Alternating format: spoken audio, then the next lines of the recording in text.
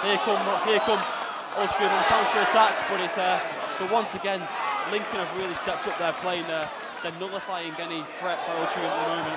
With the Beasley! Beasley scores! Beasley closes down the keeper. And as Barnes tries to the ball, Beasley's there, getting away. They've bounced off the body and then straight in. It's Altrincham 3, Lincoln City 3 about that? That's what you got a reward for persistence. What on earth was Paul Farman thinking of? Stopped the ball, flicked it up, did a little keepy uppy. Damian Reeves sees that, that's like a red rag to a bull.